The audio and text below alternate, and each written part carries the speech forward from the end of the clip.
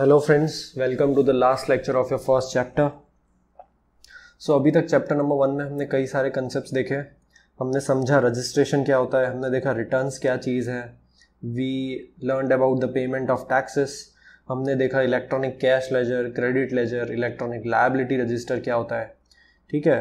ये फ्रेंड्स जितना अभी तक हमने सीखा, वो चीज़ें प्रैक्टिकली कैसी दिखती हैं, उस पर थोड़ा फोकस करते हैं।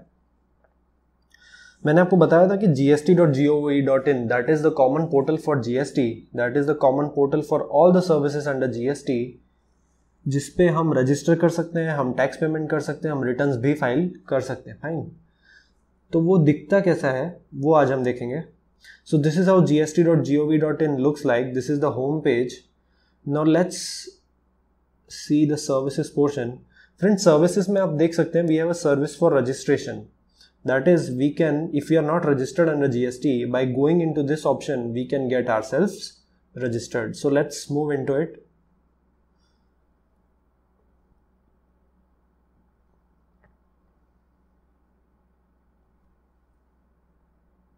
कई सारे ऑप्शंस हैं इसमें जो आपको समझ नहीं आएँगे बट जितने हमने बेसिक कंसेप्ट से हमारा जितना भी क्लैरिटी है जिन जिन टर्म्स को हम अभी तक जानते हैं, हम केवल उन्हीं टर्म्स पे फोकस करेंगे। बाकी का जैसे जैसे आप जीएसटी आगे पढ़ेंगे, आपके कोर्स खत्म होने तक आपको ऑलमोस्ट पोर्टल पे जितनी भी टर्मिनोलॉजीज है, वो सारी आपको समझ आने लगेगी। Fine first I need to select who I am so in our case we are a tax payer then we need to select the state district name of the business PAN number email ID mobile number right as I am already registered I want proceed further in this so, आप देख सकते हैं कि जैसे आप Facebook का अपना account create करते हैं ये उसी तरीके से एकदम बेसिक रजिस्ट्रेशन है ठीक है? कुछ बेसिक डिटेल्स आपसे मांगी है कुछ बेसिक डॉक्यूमेंट्स मांगेगा और then then you you can get registered under G S T fine so since I am already registered I will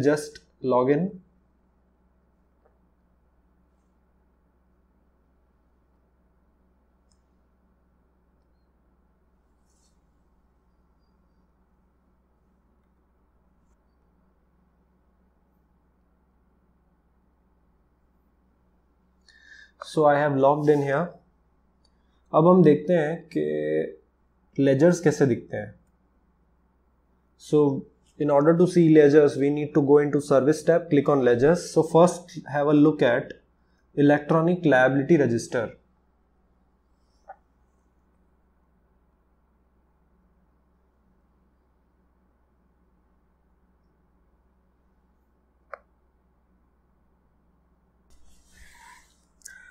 So let's select the financial year now 1920. Let us look at the ledger for the month of December. So this is how the ledger will look like.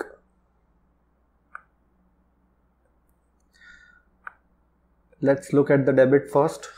तो friends हमने समझा था electronic liability register में debit क्या होता है जो हमारा आउटपुट टैक्स होता है वो।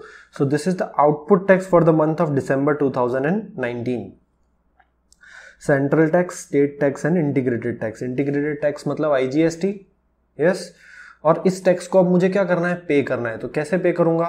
By using electronic credit ledger electronic credit ledger का बैलेंस कम पड़ गया तो क्या ये कर, क्या यूज़ करके पे करेंगे?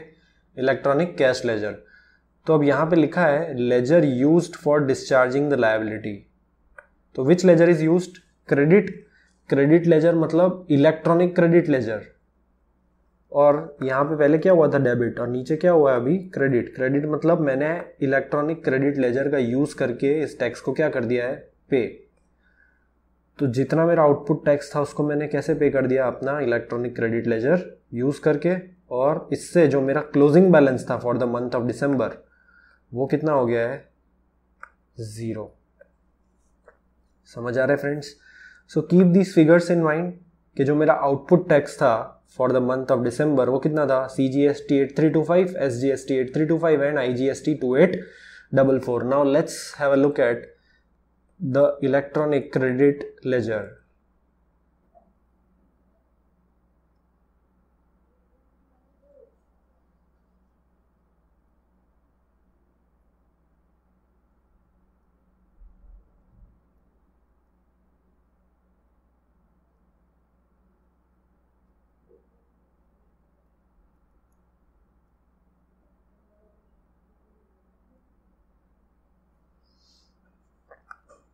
So friends, this is how my electronic credit ledger will look like.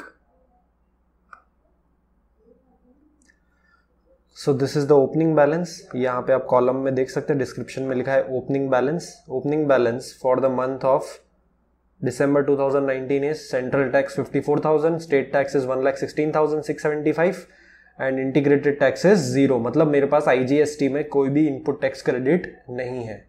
Fine यहाँ पे लिखा है input tax credit accrued through inputs तो वो करंट मंथ में जो मैंने परचेजेस की है, उसका क्या है ये इनपुट टैक्स क्रेडिट वो क्या होगा मेरे करंट मंथ के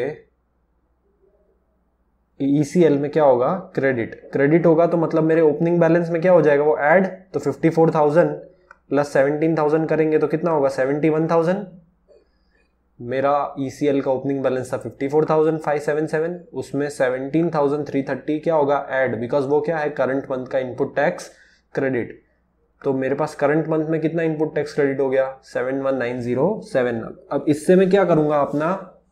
जो आउटपुट टैक्स है, जो ईसीएल e में आउटपुट टैक्स था eight three two five eight three two five and two thousand eight hundred eighty four उसको क्या करूँगा मैं? पे तो देख सकते हैं आप, मैंने eight three two five S G S T पे किया है। मेरे पास eight three two five C G S T भी था so this eleven thousand one sixty nine includes eight three two five of C G S T as well तो इसमें eight three two five से eleven thousand one sixty nine कैसे हो गया? Because this column includes SGS CGST of 8325 plus 2884 of IGST as well. Fine 11,169 friends calculator ले लीजिए हाथ में। 11,169 minus eight three two five करेंगे तो आपको मिलेगा two eight double four. Two eight double four मेरी दिसंबर के मंथ की क्या थी? आउटपुट लाइबिलिटी किसकी? आईजीएसटी की। अब आईजीएसटी की लाइबिलिटी है तो मुझे उसको पे तो करना पड़ेगा किससे? आईजीएसटी के इनपुट टैक्स क्रेडिट से। लेकिन मेरे पास आईजीएसटी का इनपुट टैक्स क्रेडिट नहीं है। तो हमारे रूल्स क्या कहते थे? कि use CGST input tax credit to pay CGST is output tax credit rule number four and if any credit remains मतलब सीजीएसटी की कोई क्रेडिट अगर बच जाती है तो उसको यूज़ करो to pay output tax of S G S T तो इसीलिए यहाँ पे टी के कॉलम में double one one six nine seventeen thousand three thirty मतलब इसमें से eleven thousand one six nine pay कर दिया गया? क्या पे कर दिया गया? आउटपुट टैक्स किसका? Eight three two five C G S T and two eight double four of I G S T इसलिए ये double one one six nine है और यहाँ पे क्या है? एट थ्री टू फाइव समझ आ रहा है फ्रेंड्स ठीक है? And this is the reason why C G S T और एस जी एस टी का बैलेंस अलग अलग है। क्योंकि कई बार सी जी एस टी हम यूज़ कर लेते हैं एस जी एस टी से ज़्यादा जैसे आप यहाँ पे देख सकते हैं तो C G S T S G S T से ज़्यादा यूज़ हो रहा है तो ऑब्वियसली यहाँ पे जो ओपनिंग बैलेंसेस है या फिर यहाँ पे जो नीचे आप क्लोजिंग बैलेंसेस देख रहे हैं ये ऑब्वियसली सेम नहीं होंगे because C G S T का जो इनपुट टैक्स क्रेडिट है वो क्या है ज़्यादा यूज़ हुआ है एस जी एस टी के मुकाबले क्योंकि हमने एसजीएसटी से तो केवल एस जी एस टी पे किया लेकिन सी जी एस टी के इनपुट टैक्स क्रेडिट से क्या पे किया C G S T and I G S T both ऐसा क्यों किया क्योंकि हमारे पास आईजीएसटी के इनपुट टैक्स क्रेडिट में ओपनिंग बैलेंस नहीं था। समझ आ रहा है friends yes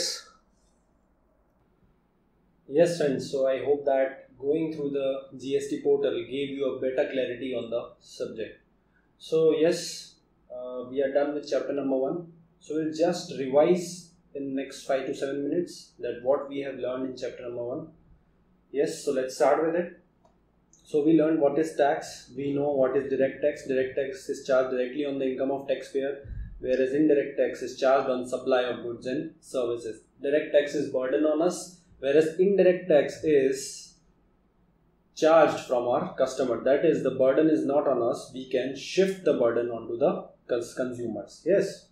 Then we understood what is input tax credit. We also came to know that input tax credit is an outcome of the concept of value addition concept. That is, GST is a tax on value addition, and tax can only be charged on the value added. We understood what is input, what is output. Yes, we went through the cascading effect thing yes we understood that there is no cascading effect that is there, there is no double taxation under gst yes then we understood the concept of interstate supply and interstate intrastate supply intrastate supply is within the state whereas interstate supply supply outside the state हमने समझा कि ये interstate और interstate का जो concept है ये समझना क्यों ज़रूरी है क्योंकि इससे हमें पता पड़ेगा कि ट्रांजैक्शन में C G S T and S G S T लगेगा या फिर ट्रांजेक्शन में आई जी एस टी लगेगा ठीक है अब जीएसटी को तीन पार्ट्स में डिवाइड किया गया है C G S T S G S T and I G S T ऐसा क्यों किया? Because India is a federal structure where in central government and state government have distinct responsibilities and to fulfil those responsibilities they need revenue ठीक है? And tax is the source of revenue from them तो C G S T किसके पास जाएगा? Central government state government के पास जाएगा S G S T and I G S T will be divided and I G S T will be divided between both centre and states ठीक है? कौन से स्टेट को मिलेगा टी जिस स्टेट में गुड्स कंज्यूम हुआ है। ठीक है? यस फिर हमने पढ़ा रजिस्ट्रेशन और रजिस्ट्रेशन लेना किन के लिए मैंडेटरी है हमने समझा। ठीक है? टर्नओवर बेस्ड क्राइटेरिया है। ठीक है? Ten lakh twenty lakhs in some states it is forty lakh as well और जिसने रजिस्ट्रेशन करवाया है, वही इनपुट टैक्स क्रेडिट ले सकता है और वही आउटपुट टैक्स कलेक्ट कर सकता है। ठीक है? फिर हमने समझा रिटर्न रिटर्न में हम गवर्नमेंट को क्या सबमिट करते हैं? अपने बिज़नेस रिलेटेड इन्फॉर्मेशन ठीक है? हमने क्या परचेज किया, क्या सेल किया, हम किस चीज़ का बिज़नेस करते हैं? ठीक है? और इस तरीके की और भी इंफॉर्मेशन हम लोग गवर्नमेंट को रिटर्न थ्रू सबमिट करते हैं। और रिटर्न और रजिस्ट्रेशन का मीडियम क्या है? हम लोग किस तरीके से रिटर्न फ़ाइल कर सकते हैं और रजिस्ट्रेशन कर सकते हैं? We can do it using GST portal Yes, and what is GST portal? GST portal is www.gst.gov.in. तो तीन बेसिक फैसिलिटीज़ हमको पता है G S T dot G O V dot in पे जो कि है registration filing of return and payment of tax we learn goods outside the ambit of GST हमने समझा था गुड्स आउटसाइड द एम्बिट क्या होता है लिस्ट क्या होता है नेगेटिव लिस्ट क्या होता है ठीक है ना हमने समझा था कि लिस्ट वो है जिसमें government public interest some goods को और सर्विसेज़ को क्या कर देती है? एग्जेम्प्ट नेगेटिव लिस्ट क्या है? जिसमें परमानेंट एग्जेम्पन वाली आइटम्स होती है। यानी बहुत ही रेयर चांस है कि उनको वापस टैक्सेबल बनाया जाएगा। ठीक है? और goods outside the ambit of GST मतलब ये गुड्स जीएसटी में टैक्सेबल नहीं है बट किसी और लॉ के अंडर टैक्सेबल है। यस फिर हमने समझा electronic cash ledger credit ledger liability register ठीक है? Manner of utilisation of credit IGST के सामने पहले आईजीएसटी यूज़ करो, फिर आईजीएसटी को यूज़ करो सीजीएसटी और एसजीएसटी पे करने के लिए उसके बाद आईजीएसटी अगर खत्म हो जाए तो use CGST to pay CGST if CGST balance remains तो use CGST to pay IGST ठीक है उसके बाद use SGST to pay SGST and if balance remains use SGST to pay IGST ठीक है yes so this is all that we learned in this chapter concluding with chapter number one. See you in the next lecture, guys. Till then, take care. Bye bye.